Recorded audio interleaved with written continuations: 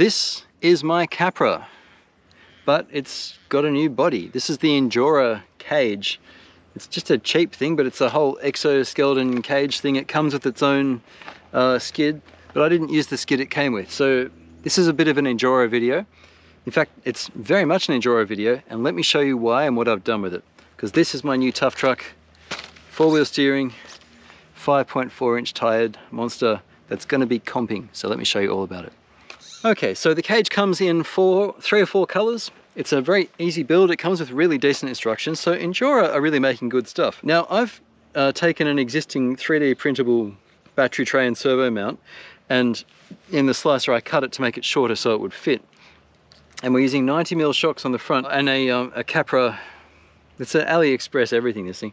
We've got Capra front axle and the stock Capra plastic rear axle from my original Capra kit. I've got a Holmes Hobby servo at each end. We've got metal links throughout.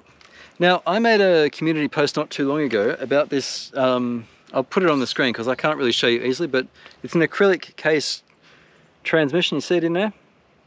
And it has a uh, Rhino uh, ESC and it's got a Rhino Outrunner motor attached to it. Uh, it's been an interesting build. I've actually made it uh, shorter at the front, longer at the back. Not by a huge amount, but this is the result of my tuning. And we have the Boom Racing Pro wheels, which I really like because they're adjustable in so many ways. What I wanted to explore with you in this video was just how good the AliExpress stuff is becoming. I'm...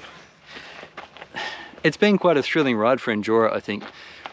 Uh, one thing that's nice is that they're making their own stuff. It's not there has been some cloning stuff in the past and you might see there's not a lot of that on my channel. I don't really like supporting the cloning stuff, but the stuff that they're making now is really good.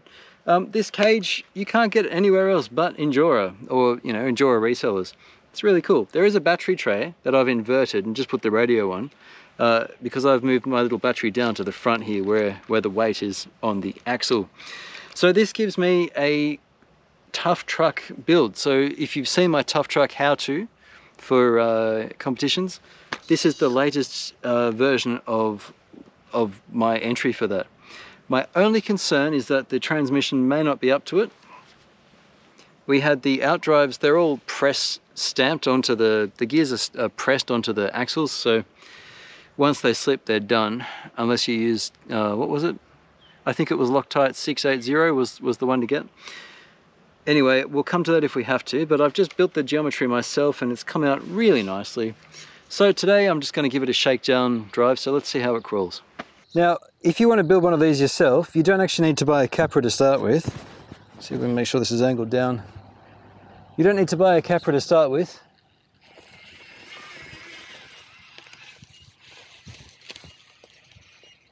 Because really, the motor, the transmission, the body obviously, even the axles and servos, you can really build all of this separately and it would have been a lot cheaper. The magic thing for me here is my Sanwa MT4 because I've got rear steering here and front here. So we're just running off a small 450 milliamp hour servo and look, you can see the outrunner here. See it turning when it's going? How many kV is this? Was it 1450? 1470 kV. Now my tough truck rules specify 5.4 as the biggest diameter for tyres and you can be on 2.2 or 1.9 tyres. So I've gone with 2.2 and they have to be uh, they have to be a realistic tread and I've cut this down just like on the real tough truck. So I'm not setting out to prove its capability here, but I just thought we might have a play and just see what it's capable of. Let's, well, let's see what we can do. It's only a small battery, that 450 milliamp hour battery, so uh, we're not going to get a hugely long time. Look at that, crab walking being ever so useful. And these brilliant Holmes servos are so strong.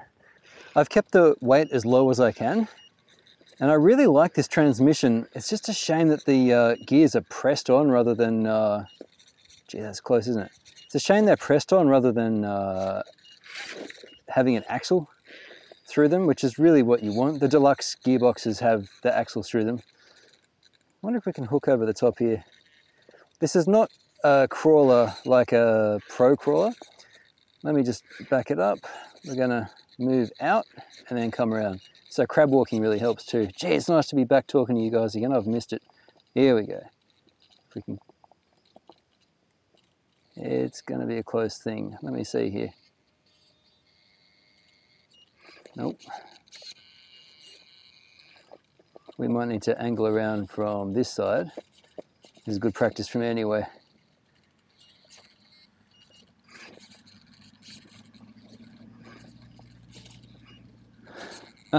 Jeez.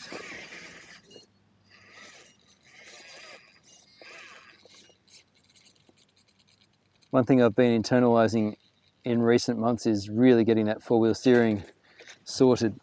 Uh, it comes pretty naturally now. And the difference between crabbing and uh, or four, four-wheel steering is is large, so it's good to have that.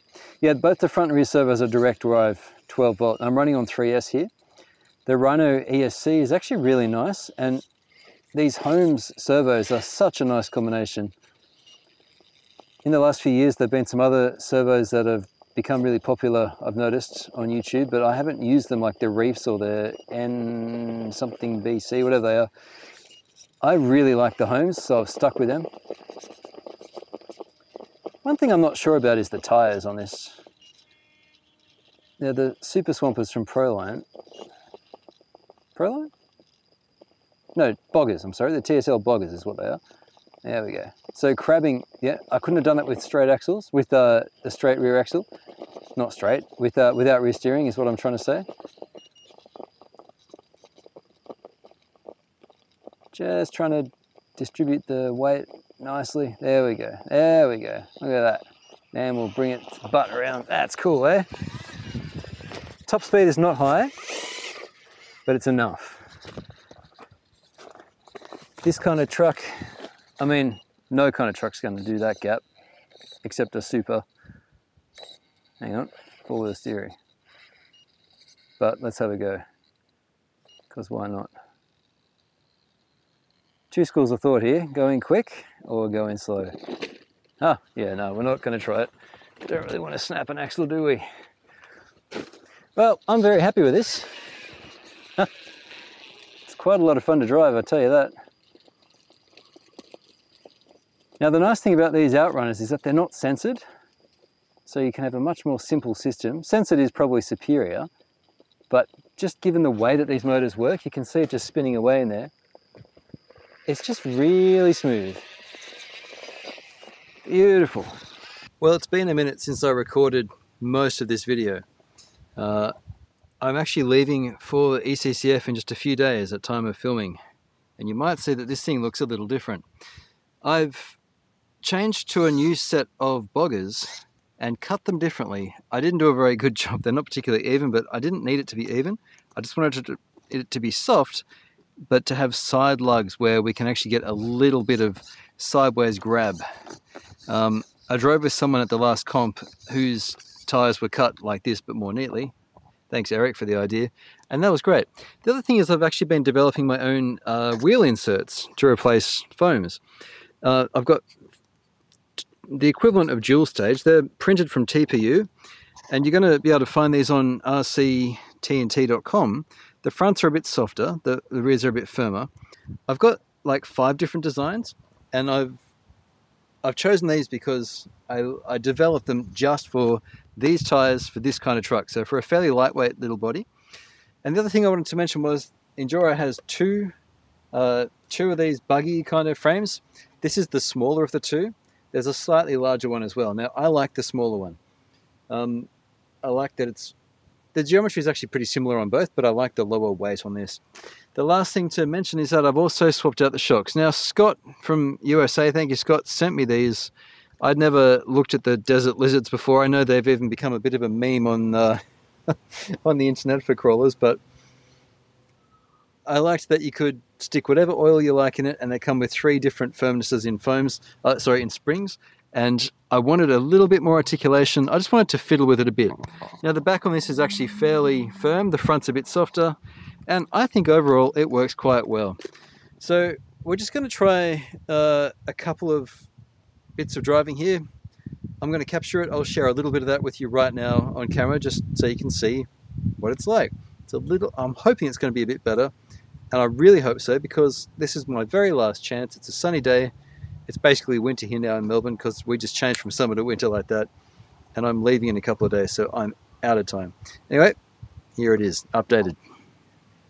Well, as it turned out, I didn't like the tires. So I've returned to what I had, which is just every second, all the small lugs removed basically. They could use some sideways cuts as well to help stop sliding, but I don't have the time to test that before I go away. So I'm just going to drive the 6 again now and make sure I'm happy. I've just grabbed a tiny amount of time here to film this, and I got out here just before and realized, oh yeah, last week I lost a screw and had to hurry up and fix the axle. Anyway, you're going to see that uh, four-wheel steering makes a humongous difference. Even when I've just come in cold, I haven't driven all week. My mind has been necessarily elsewhere, and still, look how smooth it is. Just beautiful. Problem one. Problem two. Now the overall dimensions of this vehicle are very similar to the Capra. And remember, my Capra was a kit front wheel steering only. This was before they released the uh, four wheel steering Capra. So I'm using an aftermarket alloy axle for the front and the original plastic front axle in the rear. Into problem three. This is crabbing and then we reverse the front steering and we can change the vehicle's direction so easily. And to remind anyone who hasn't seen this for a while, there's my rear steer here. This is the Sanwa MT4, but you can do this with a number of other vehicles, another a number of other radios. I'm sorry. All right, so we're gonna.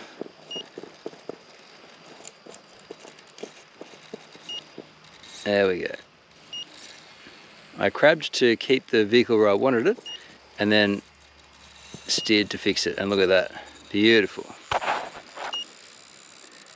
Now there are some kangaroos very cautiously watching me here. They're having dinner. Sorry to disturb you guys. This is problem four. Now this Injora kit isn't just an Injora kit. Like I said earlier in the video, we're also using that acrylic transmission. And this is a great combination. I, I quite like it. Oh, these kangaroos got uncomfortable. They left. Understandable. There we go. All right, let's keep the camera with us. There we go.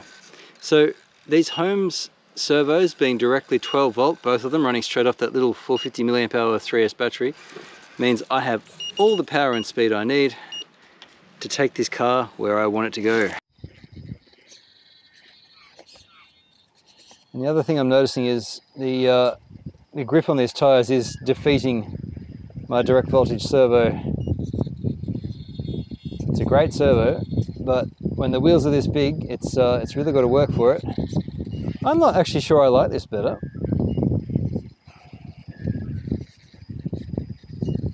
So what we need is for the tyres to deform more, more than they currently are.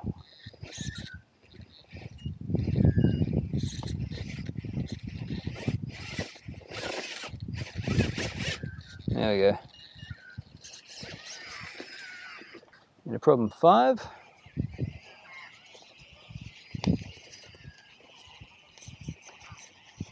I can see the tie rod wants lengthening a little bit too because the wheels are towed in just a little. And really, you want neutral toe or I guess slight toe out is fine, but you don't want toe in really on any car in the front, but as crawlers, yeah, it's not ideal for accuracy. Anyway, five was a breeze. And lastly, problem six,